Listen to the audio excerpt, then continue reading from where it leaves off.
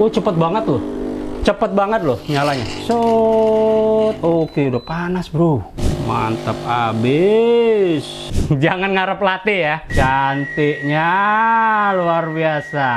Gua ada solusi. Bisnis minuman sin espresso.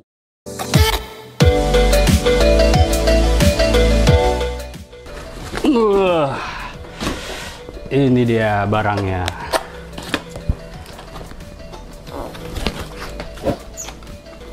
Kartu garansi dengan manual book, kemudian sendok kopi, blind basket, portafilter, pressurize, kemudian ini buat apa nih? Ini nggak tahu buat apa, nanti kita coba.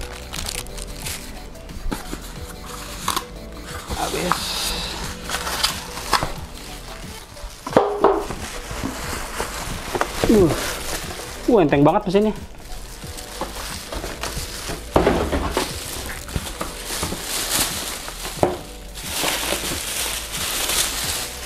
Dah, sini dia mesinnya.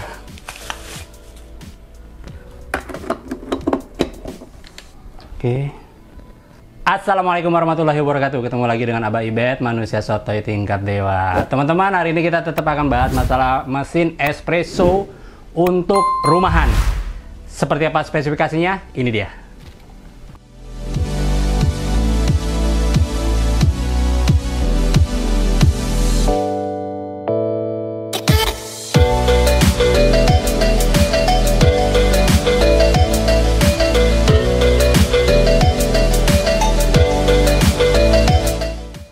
Oke, ini dia mesin Ferrati Vero FCM 695. Iya, tadi udah lihat ya spesifikasinya seperti apa. Memang ini mesin diperuntukkan untuk rumahan karena dia simple banget, kecil, slim, uh, menggunakan pressurized portafilter dan kita juga sudah mendapatkan dua basket untuk single dan double. Kemudian di depan dalam paketnya sudah dapat sendok kopi dengan tampingnya tapi bahan plastik.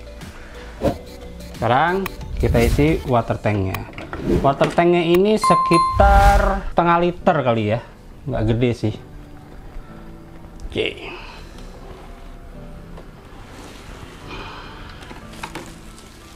Ingat mengangkatnya jangan water tanknya yang diangkat.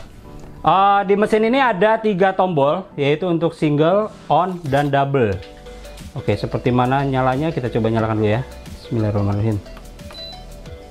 Oke dia standby. Kemudian di sini teman-teman juga bisa lihat nanti di wattmeter kita standby kan wattmeter. Ini baru terbaca 1 watt. 1141 watt. Nah, udah mulai manas ini. Kita tunggu berapa lama dia on-nya ya. Tuh, ini udah, wih. Kemudian kalau kita mau bikin single. Oh, cepet banget loh. Cepet banget loh nyalanya. So, oke, udah panas, Bro. Wih, udah panas weh. Kemudian ini double. Oke. Oke, kemudian di sini ada tiga fungsi, yaitu kalau di tengah itu untuk kopi untuk kita bikin espresso, kemudian ke sini itu untuk steam, kemudian kalau ke sini itu untuk hot water. Jadi dia bisa mengeluarkan air panas juga ternyata. Sekarang kita mau coba hot waternya dulu. Kita coba hot water. Oh, gitu dia.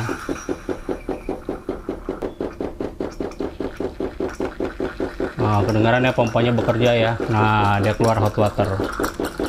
Oke juga, boleh. Tapi dengan water tank yang begini ya memang peruntuknya di, untuk rumahan ya. Jadi ya wajar aja sih. Sekarang kita coba steamernya. Seperti apa hasil steamernya? Dia udah tunggu sampai dia melotot kali ya. Oke. Sos. Dia berhenti dulu. Ah,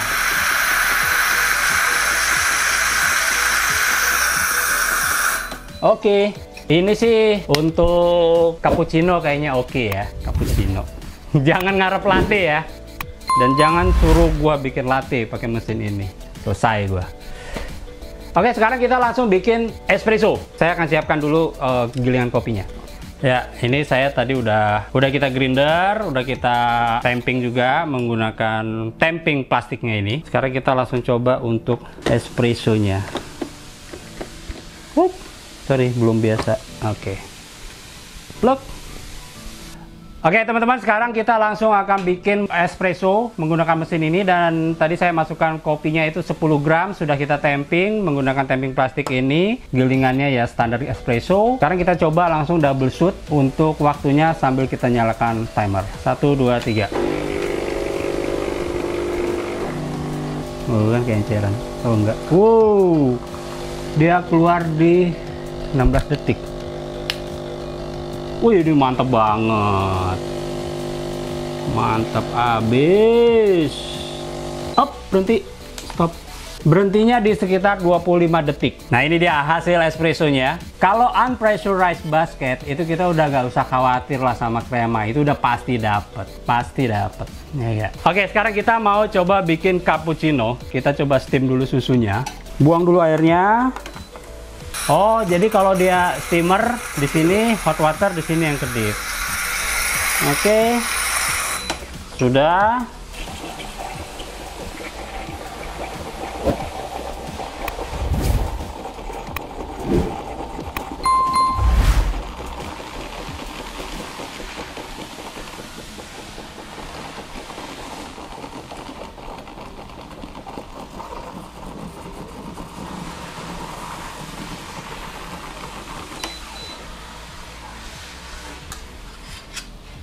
Hasilnya seperti ini.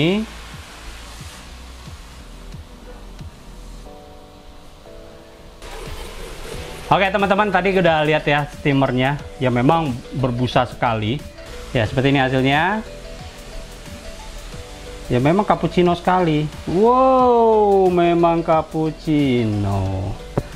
Oke kemudian kita akan coba bikin cappuccino dengan espresso kita bikin single shot aja ya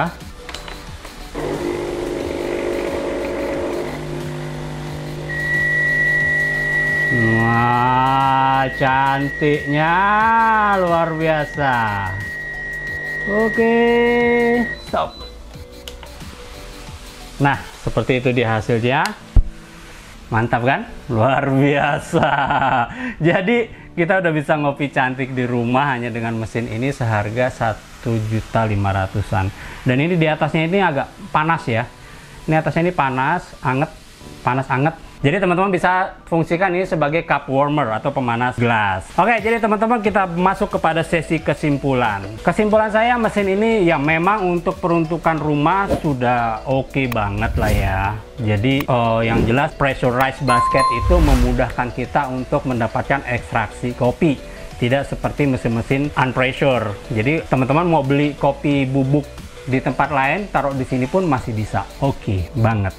Kemudian mesin ini simple, ramping ya, kecil. Jadi kalau buat di rumah memang uh, nggak nggak butuh space besar ya untuk uh, mesin ini. Kemudian daya listriknya tadi kita udah lihat sekitar 1400 watt dan sampai dengan ini saya udah bikin dua cappuccino itu menghabiskan 0,02 kWh. Jadi ya murah banget lah ya untuk daya listriknya.